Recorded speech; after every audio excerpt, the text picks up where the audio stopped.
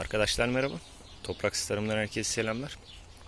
Bildiğiniz üzere kıvırcık seramıza en son salatalık ekimi yapmıştık geçen hafta.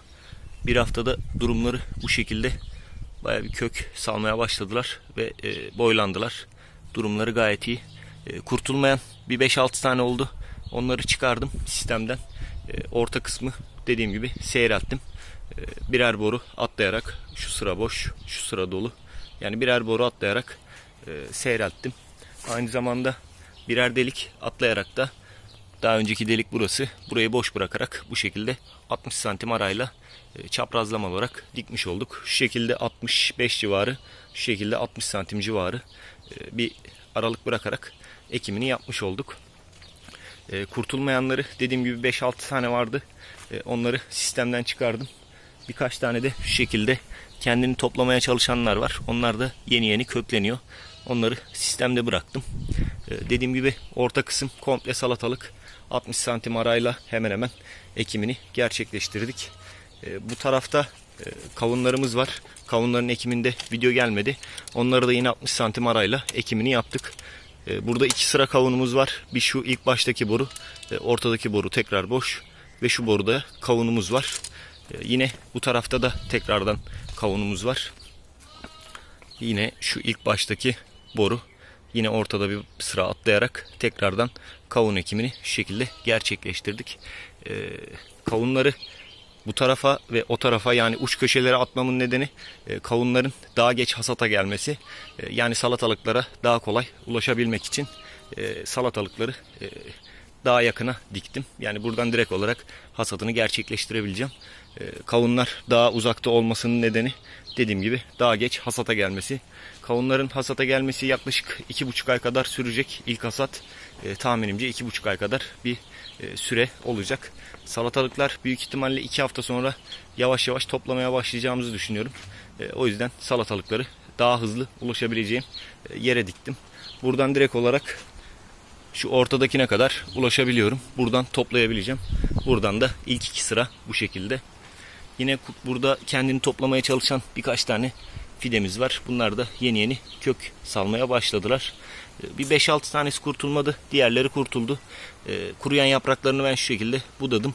Ee, daha hızlı gelişmeleri için. Burada fazla kaldığı için buraya 2 adet e, ektim. 2 boru ektim. Yine yan tarafta da karşı tarafta da e, bir sıra daha ekili. Dediğim gibi burada 30'ar santim arayla dikilmiş oldu. Hemen hemen. Eğer bunlar çok fazla e, kurtulmayacak gibi olursa, e, verimi düşük olursa bu tarafı seyreltip yine e, daha sık e, toplayabileceğim şekilde ayarlayacağım. E, kavunlarımız 3 çeşitli balhan, ballıca e, ve kırk ağaç kavunu. Balhan ve ballıca birbirine çok yakın kavunlar, e, çok yakın cinsler. E, gayet de sağlıklılar. Sisteme koyduğumdan beri hızlı gelişiyorlar. E, Baya bir kök salacak gibi gözüküyorlar. Şu şekilde birkaç tanesini göstereyim. Şuradan araya girebilirsem evet. Şu şekilde kök yapıları gayet sağlıklı. Yapraklarda bir sorun yok. Balhan ve ballıca birbirine karıştı. Hangisi hangi cins olduğunu ayırt edemiyorum. Çok yakın cinsler. Kırkağaç kavunu karşı tarafta bir miktar. Orada balhan ve ballıcadan da var. Dediğim gibi balhan ve ballıca birbirine çok yakın olduğu için e, ayırt etmesi zor. Bu kırk ağaç kavunumuz e, kalık kab kalın kabuk. E, bu tabi daha uzun süre dayanabiliyor e, kalın kabuk olduğu için. O yüzden e, kırk ağaç kavunu da deneyeceğiz. E, balhan ve ballıca daha ince, ince kabuk olduğu için e, onların biraz daha dayanım süresi az. E, ama gelişimleri gayet güzel. E, bu da kırk ağaç kavunu kırkaç, kavunlu, balhan ve ballıcıdan e, kolaylıkla ayırt edebiliyorsunuz. Ama balhan ve ballıcayı biraz ayırt etmesi zor. Birbirine yakın olduğu cins olduğundan dolayı ayırt etmesi baya bir zor. Dediğim gibi salatalıkların ve kavunların durumları şu an gayet iyi. Şuradan birkaç tane de e, salatalık göstereyim. Şu şekilde. Şu ilk yapraklar zaten kuruyup düşecek. E, onlarda sorun yok.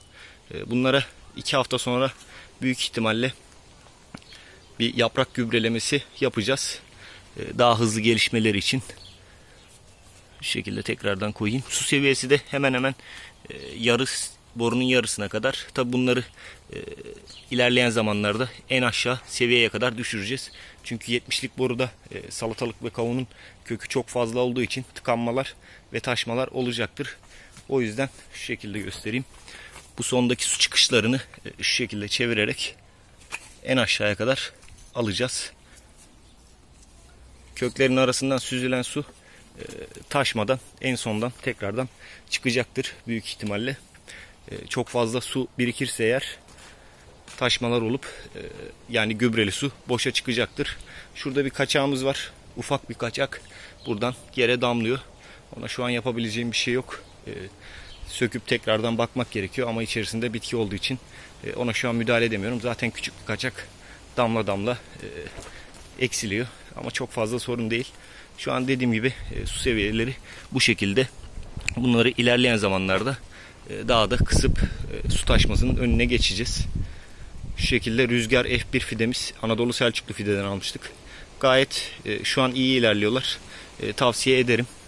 Şu şekilde tekrardan koyalım. Bu orta saraya bir adet daha tel çekeceğiz. Şuradaki teller gibi.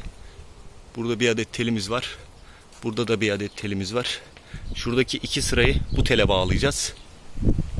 Şu ortadaki iki sırayı şuradan bir adet daha tel çekip oraya bağlayacağız.